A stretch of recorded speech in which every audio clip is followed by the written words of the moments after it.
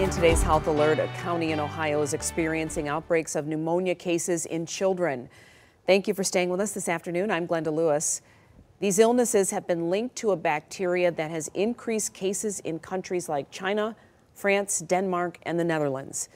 So here to tell us more about this is our chief health editor, Dr. Partha Nandi. And Dr. Nandi, tell us about this bacteria and these cases in Ohio. Yeah, we're talking about this at work. You know, most people haven't even heard about this. Mycoplasma yeah. pneumonia is a bacteria that can damage the parts of the body that are involved in breathing. That includes the throat, the lungs, and the windpipe. It's often called quote unquote walking pneumonia. Why? Because its symptoms can be milder than the typical pneumonia, and many folks can carry on with daily activities. However, sometimes mycoplasma pneumonia can also cause serious lung infections. And last week, the Warren County Health District in Ohio issued a media advisory regarding a extremely high number of pediatric pneumonia cases. Since the start of August, there have been 142 cases, surpassing the county's usual average, Glenda. These cases primarily affected children around the age of eight, and common symptoms, they included fever, fatigue, and cough. And the good news is that the health district did not find any new or novel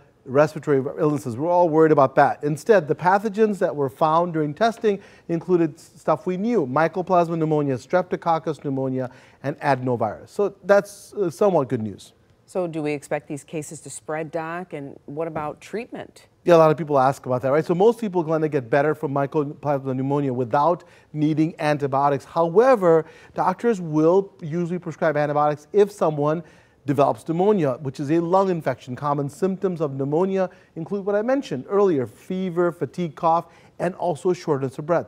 What about spread, right? There hasn't really, really been a significant increase in mycoplasma infections in other parts of the U.S. Having said that, we'll usually see pneumonia outbreaks every one to three years.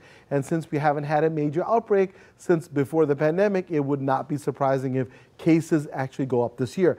Now, anyone can get mycoplasma infections, but most people that are at risk are those who live or work in crowded settings like schools. And that's why, Glenda, these infections are seen most commonly in young adults and school-aged kids, right? They're around each other a lot. However, it's important for everyone to take precautions to protect their health, especially right now. We got the holidays upon us.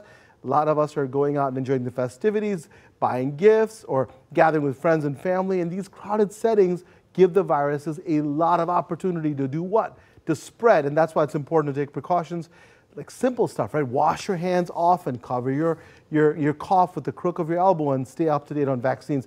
All this helps. But to me, the main thing is that people are really worried something devastating was going to happen with, you know, with this, uh, with this mycoplasma pneumonia. People thought, hey, it came from another country. Is this COVID again? And it wasn't. So I'm happy about that concerns about the China connection earlier. Yeah, on. and it's like, hey, again, is this COVID again? Because remember, it was like okay. a few years ago, we had a few infections in, yeah. in, in China or somewhere else and came upon us, but this is a little different, so different. I'm happy about that. We yeah. can control it with some simple measures. All right, thanks a lot, Doc. Hey, Appreciate my pleasure. It. Thank of course. That takes the pressure off. Thank you very much, exactly. sir. And if you have a health question for the good doctor, you can email him, Dr. Nandi, at AskDrNandi.com or send it to us on Facebook or Twitter. We'll get it right to him.